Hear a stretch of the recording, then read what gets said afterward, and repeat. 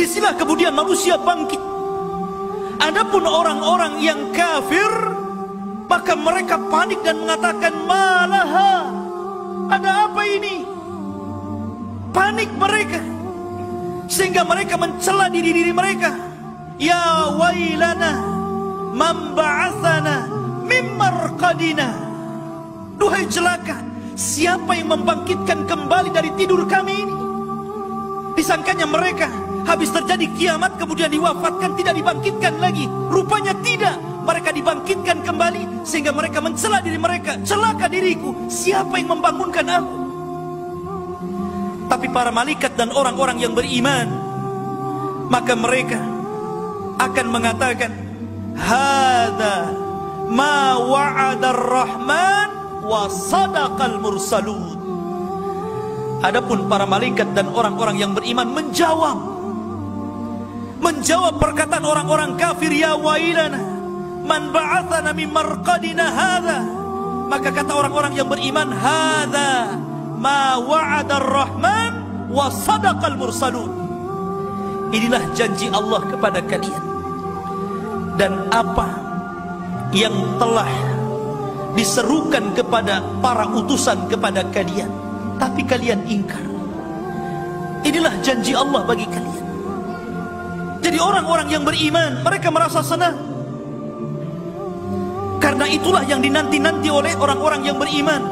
Segera kembali kepada rumah yang hakikat rumah yang abadi rumah yang selama-lamanya jannatul firdausi nuzulah dan sorga-sorga yang lainnya yang penuh dengan kenikmatan di dalamnya. Ma'asyiral muslimin Adapun orang-orang yang mujrim, orang-orang yang berdosa, orang-orang yang ketika di dunia selalu melakukan maksiat kepada Allah, meninggalkan salat, meninggalkan puasa, tidak mau bayar zakat, berzina, minum khamar, berjudi, atau melakukan dosa yang lainnya, mujrimun. Maka Allah katakan dalam Al-Quran, zalam. Kumpulkan semua orang-orang yang zalim itu. Wa azwajahum dan orang yang semisal mereka. Artinya orang-orang Yahudi kumpulkan bersama Yahudi, orang-orang Nasrani kumpulkan bersama orang-orang Nasrani, orang-orang Buddha kumpulkan bersama orang-orang Buddha, para penyembah berhala kumpulkan dengan para penyembah berhala, para penyembah setan kumpulkan dengan para penyembah setan. Ahli maksiat yang serupa kumpulkan mereka dengan yang serupa. Wa ma kanu ya'buduna min dunillah kumpulkan mereka dengan apa yang mereka sembah dari selain Allah. Kalau mereka menyembah matahari, kumpulkan di sana dengan abadatus syamsi, dengan para penyembah matahari. Mereka para penyembah bulan, maka kumpulkan dengan abadatul qamar. Kalau mereka penyembah patung, kumpulkan dengan abadatul asnam. Maka Allah mengatakan, Ahduhum ila siratil jahim. Giring mereka giring mereka ke lembah-lembah jahanam waqifuhum innahum mas'ulun. Waqifuhum hadapkan mereka kepada karena mereka akan ditanya. Kita akan ditanya. Apa yang akan ditanya? Nabi sallallahu alaihi wasallam bersabda la tazulu qadama 'abdin hatta yus'al an arba. An umrihi fima afna wa an shababihi fima abla wa an malihi min aina iktasabahu wa fima anfaqahu wa an ilmihi fima amila fi.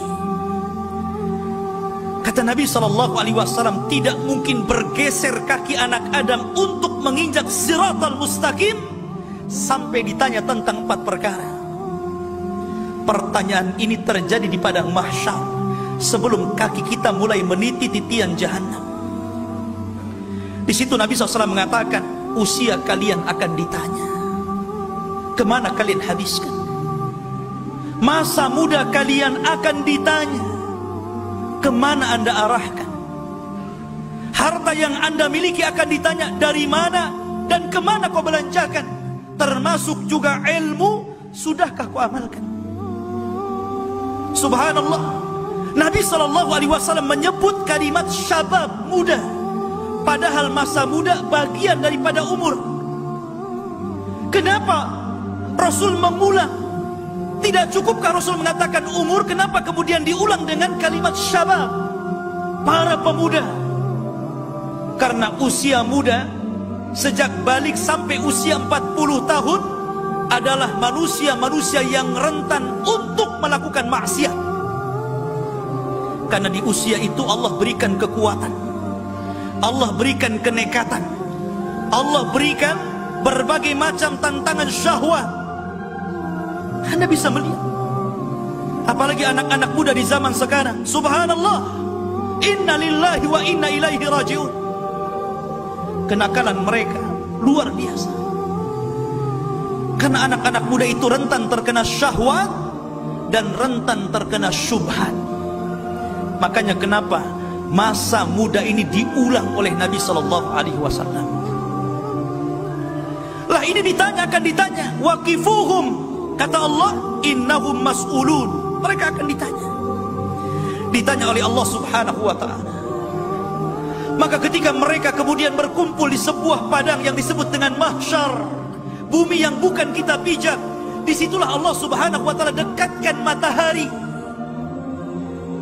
Nabi sallallahu alaihi wasallam mengatakan bahwa jarak dekatnya matahari ke kita adalah satu mil. Rawi ketika itu rawi hadis.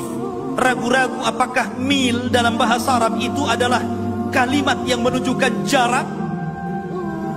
Ataukah mil itu kalimat yang menunjukkan alat celak tahu celak alat celak kalau memang mil itu adalah alat celak berarti matahari di atas kepala.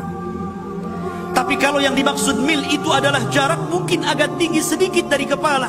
Tapi di dunia saja Kalaulah Allah takdirkan matahari keluar dari garis edarnya, bumi ini hangus. Ini satu mil Anda bisa bayangkan. Dan kita akan berdiri di situ.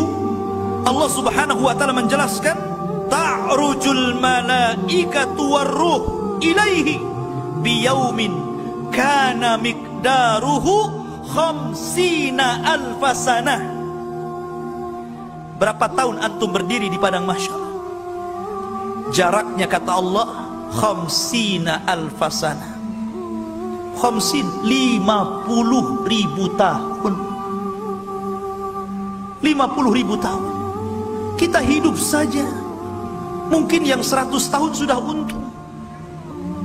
Kadang-kadang tujuh puluh tahun sudah banyak yang teler.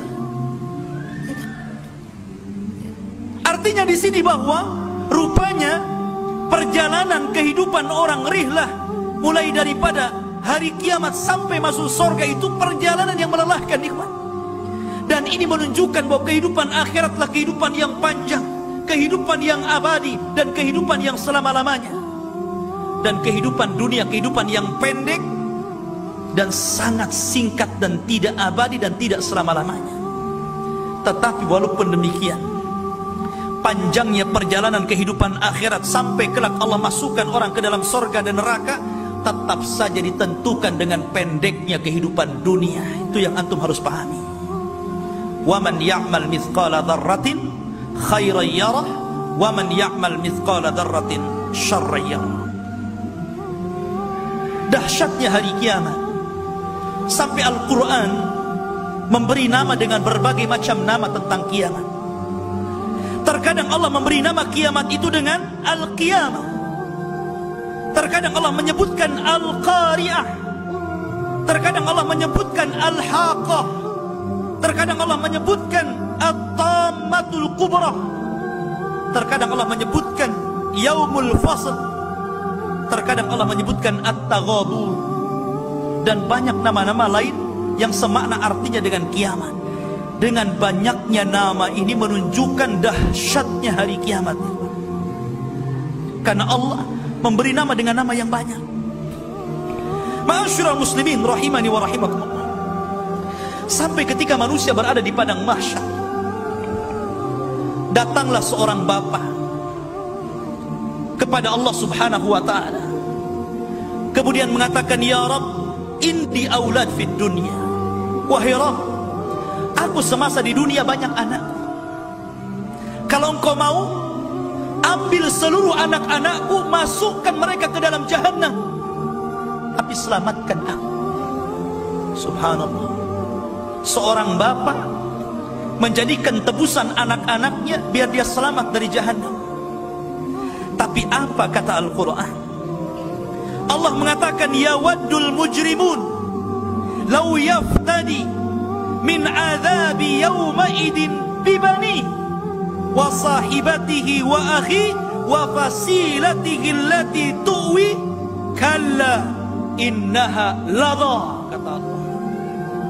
ketika orang-orang yang berdosa itu berkehendak untuk menebus dengan anak-anaknya dari adab Allah Subhanahu wa taala atau menebuskan saudara-saudaranya biar mereka saja yang masuk jahanam masukkan aku ke dalam sorga atau ditebus dengan seluruh keluarganya. Masukkan seluruh keluarga ke dalam neraka nggak apa-apa.